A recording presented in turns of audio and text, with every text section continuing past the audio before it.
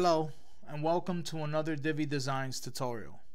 Today I'll be showing you how to upload and use our free Divi child theme. To clarify, this theme is not intended as a design template.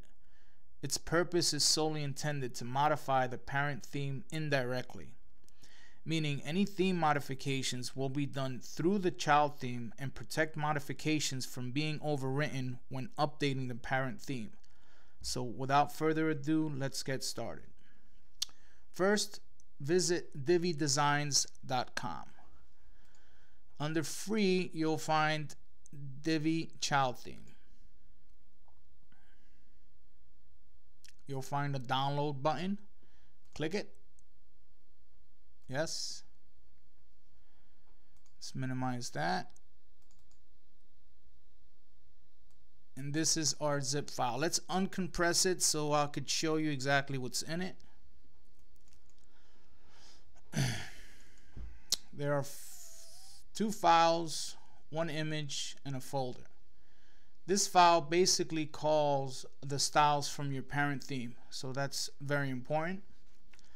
The includes file is not necessary but I find myself using it with a lot of clients. Natively Divi only ships with three social media icons. I believe it's Google Plus, Facebook, and Twitter. But you can add a lot more. Um, in this example, I just added Instagram. And you can add it right below the RSS feed. If you do not need it, you could simply just erase this block of code. If you want to add more or add a different one, included is a links text.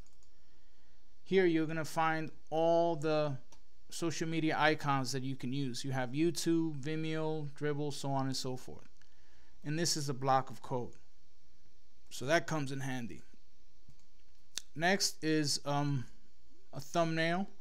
It's just a nice way to represent your child theme. And lastly is your style sheet.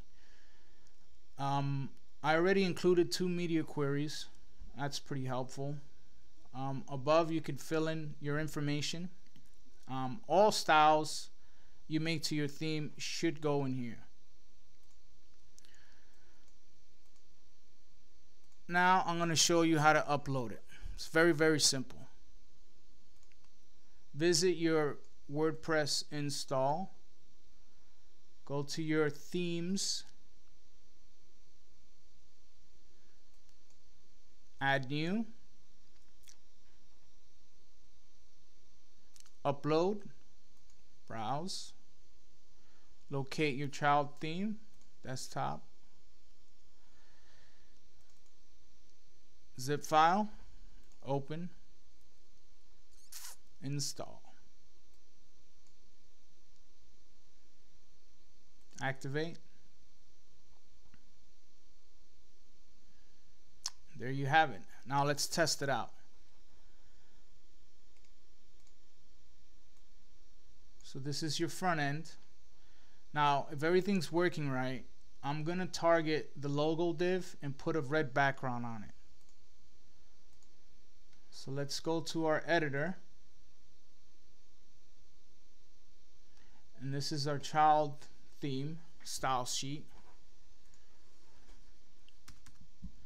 Let's say logo.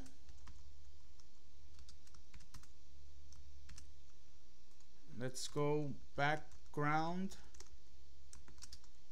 Red. Update. Refresh.